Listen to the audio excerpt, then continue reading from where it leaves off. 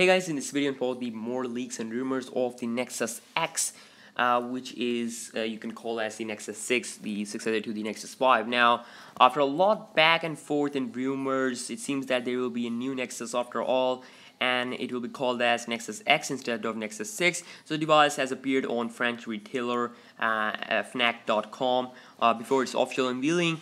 Uh, now, uh, and the listing reveals that the Nexus X will come with a 5.2 inch screen uh, with a Snapdragon 805 system chip.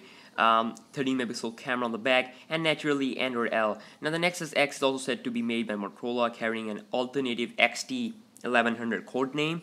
Uh, so uh, we are seeing a leak of two versions here, a 32 gigabyte, a 64 gigabyte one, and there seem to be no 16 gigabyte model. Now the price seems to have gone up in comparison with the Nexus 5, but it's still some 30% to 40% cheaper than most of the other flagship out there.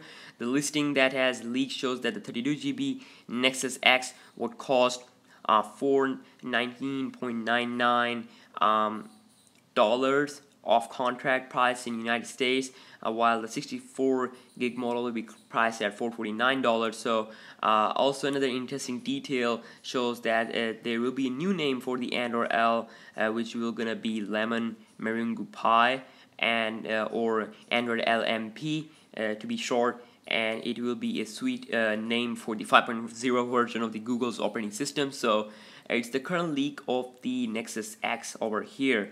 Um, and also uh, there will be like maybe like two version one with 2k display and one with 1080p HD display. Um, but you know previously we were seeing some 5.9 inch screen and now according to this we are seeing a 5.2 inch display. So uh, you know we'll see both of the leaks out there and it seems like there will be two versions of the Nexus X, one with a 1080p HD display and one with a 5.9 inch bigger phablet, uh, phablet category 2K display. So uh, yes, I'll be making more video uh, when more leaks comes out, so make sure you subscribe to my channel, and I'll see you next one. Peace.